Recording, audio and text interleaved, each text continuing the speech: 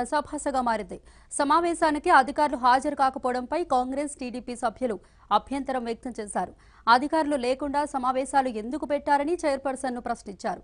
సింగూరు జలాలను అక్రమంగా విడుదల చేస్తున్నారంటూ ప్లకార్డులు పట్టుకుని సమావేశం హాలులో బైఠాయించారు ఆ తర్వాత సమావేశాన్ని బహిష్కరించారు. అమ్మా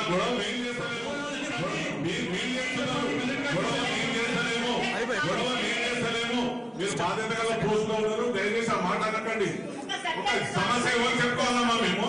మా సమస్య ఎవరు చెప్పుకోవాలి? ఉల్టా మమ్మల్ని గొడవ చేస్తారంటున్నారు. జిల్లా కలెక్టర్ లేకపోతే ఎవరు చెప్పుకోవాలి? మా సమస్య చెప్పుకోవాలంటే జిల్లా కలెక్టర్ జిల్లా కలెక్టర్ పిలిపారు ఉల్టా మా మీద మీరు ఎవరు లొల్లి చేస్తున్నారు మాట్లాడేది ఎట్లా తెలుసా పిలిపియండి. పిలిపియండి అవునా ఆ? మేము ఒక ఒక సబ్జెక్ట్. మొదటగా. చేతుపల్లి